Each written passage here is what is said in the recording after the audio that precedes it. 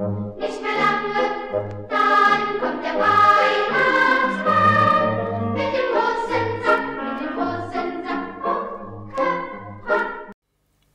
Nicht mehr lange, dann kommt der Weihnachtsmann. Liebe Kinder, liebe Eltern und Großeltern, seid ihr auch so aufgeregt? Ich bin es auch und ich freue mich aber auch genau das richtige Buch heute euch vorstellen zu dürfen. Ich danke Henning Löhlein, der eine ganz zauberhafte Geschichte über den Weihnachtsmann geschrieben hat. Und das in einem ganz kleinen Buch. Ich wünsche euch jetzt viel Spaß bei der Geschichte. Der verwechselte Weihnachtsmann. Eine Geschichte von Henning Löhlein. Und schon wieder war es soweit. Und wie immer war der Weihnachtsmann auch in diesem Jahr etwas spät dran. Na dann, nichts wie los, denkt er sich.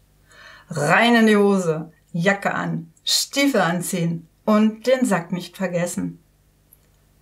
Er läuft über Stock und Stein durch den Märchenwald, bis plötzlich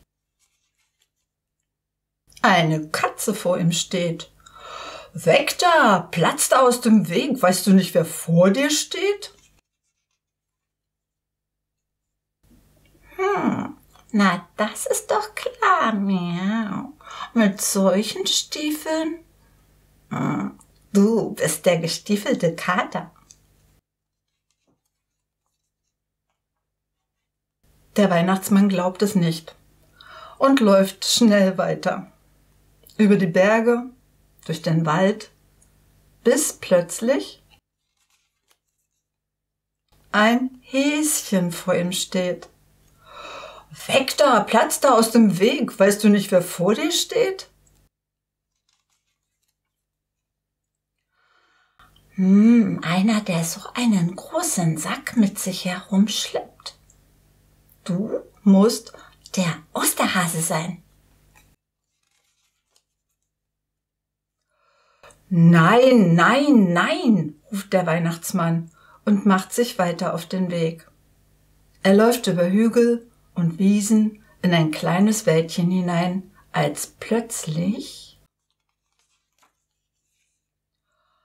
ein Wolf vor ihm steht. Äh, weg da, platz da aus dem Weg. Weißt du nicht, wer vor dir steht? Der Wolf leckt sich die Zähne und sagt, mm, natürlich weiß ich, wer du bist. Du bist Rotkäppchen und ich bin der böse Wolf.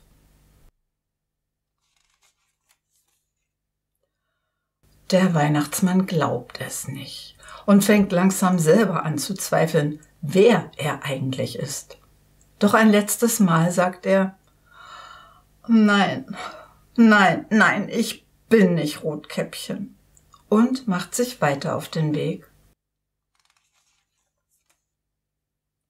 Langsam wird es dunkel und der Weihnachtsmann kommt in die Stadt. Da sind viele Leute, aber keiner beachtet ihn. Sie sehen ihn einfach nicht, bis die Kinder laut rufen. Hurra, hurra, da ist er ja. Der Weihnachtsmann ist da. Nicht mehr lange, dann kommt der Weihnachtsmann mit dem großen Ui, der hat's aber eilig. Naja, kein Wunder. Bald nun ist Weihnachtszeit. Der Weihnachtsmann muss sich beeilen. Und meine Kollegin und Kollegen der Kinder- und Jugendbibliothek wünschen euch allen ein wunderschönes Weihnachtsfest. Wir danken fürs Zuschauen in diesem Jahr und wünschen, dass alle gut in das neue Jahr hineinkommen. Stellvertretend für alle, fröhliche Weihnachten, eure Karen.